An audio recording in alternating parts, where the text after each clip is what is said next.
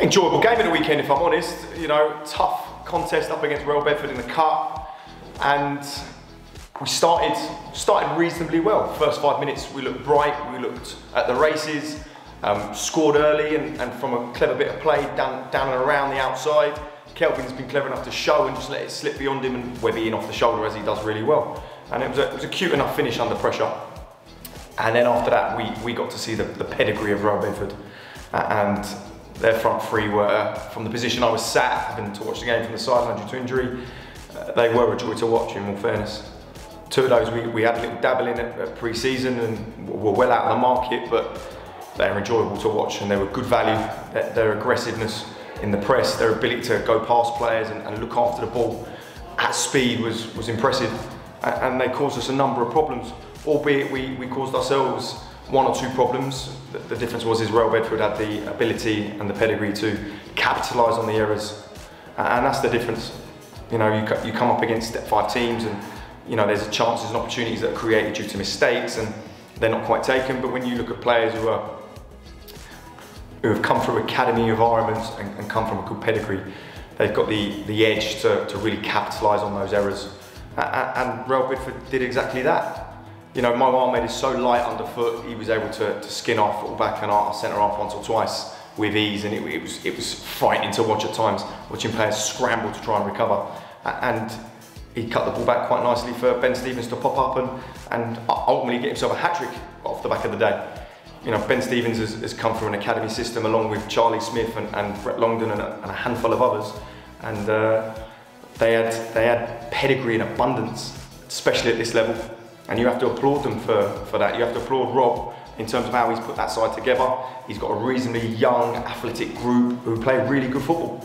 And unfortunately on the day, we weren't able to get close enough to them. We didn't put them under enough pressure. We didn't cause them, disrupt and cause their midfield trouble to try and make errors so we could counter and, and transition towards their goal.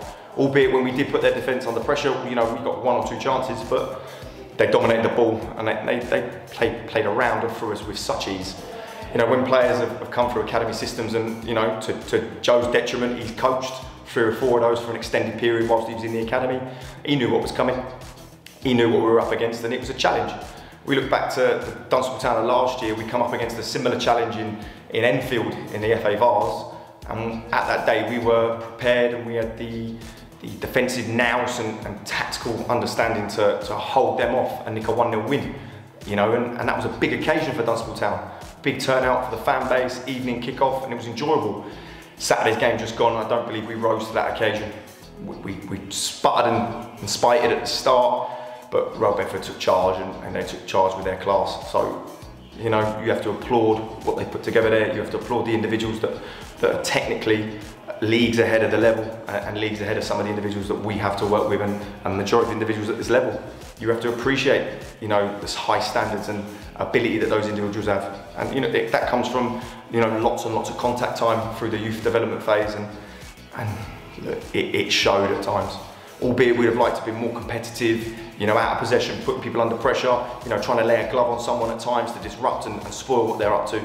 But we weren't able to get close enough to disrupt Real Bedford and you know six was potentially flattering for us if I'm honest. Connor's made some outstanding saves on a number of occasions to keep the scoreline down. You know, they created a number of good opportunities in and around the box. You know, most goals we see at this level are from set pieces and Real Bedford didn't put one cross into the box from a set piece. They built short, they wanted to play. Is that because, you know, the, the size of their group, you know, they're not the biggest of groups? Or is that because they are truly believe in their ability to play football? And they, and they tested that. And it was good value. It was good value, and you've got to applaud it.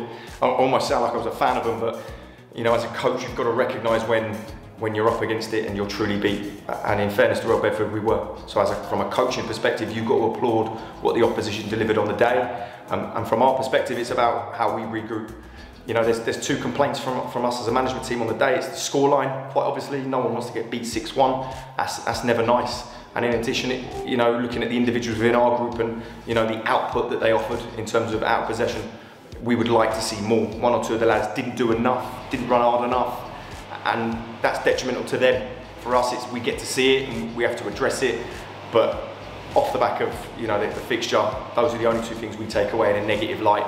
The rest of it for us has to be positive. It's an opportunity to you know, roll out the style of play that we're looking to adapt to moving forward. It was an opportunity to look at some players from our perspective, but Cup's aim is a cup game. At least we've seen their hand because we have to play them twice in the league, and that is potentially six points that we would like to at least scrape a couple off of Real Bedford to see if that can help us in the league push.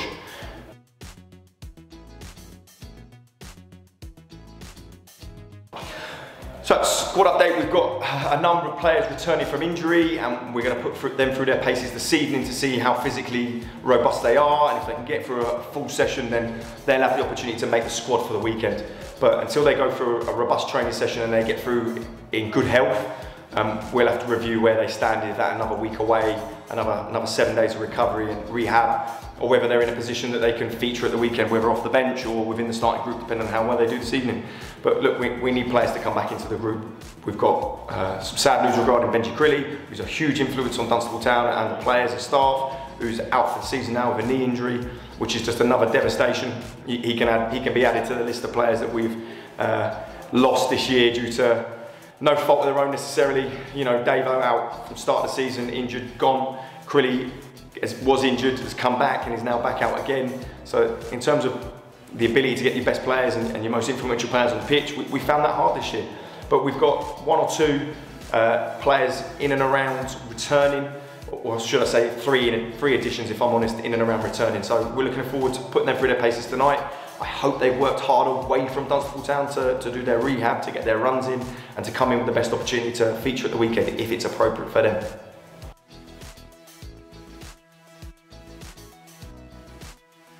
Saturday we head over along with the Dunstable faithful to Arlesey and I'm sure we'll be supported in great numbers when we go over there. Saturday just gone was a really important weekend for Dunstable Town and, and Ian Bateman and the family regarding the death of his son two years ago. That was an important Saturday for the club, the community and us as a playing staff and management team. So we hope to take some of that energy and that positive enthusiasm that, that Ian had for all of us off the back of the game Saturday and take that with us into the Saturday coming we've got to use moments like that and, and, fantastic people like that to, to give us that extra 10% because it means more than just a game of football. It, it means the world to some people and that support is so well and truly endowed that we need to utilise that as a strength to give us the impetus of what it looks like on Saturday. Obviously, have had uh, a management change um, and they've got some, some new gentlemen in the building, albeit young and, and players themselves, player managers as it were. You know, they've, they've recruited a new group, shall I say, whilst keeping a handful of individuals. So it'll be an interesting fixture. Not, not too much about them in terms of what we know and what, we, what to expect, but we do know what that environment looks like in terms of the pitch. We've been over to Arlesey numerous times, whether it's to play Arlesey or Bulldog, uh, and it's a difficult place to go. It's a difficult pitch.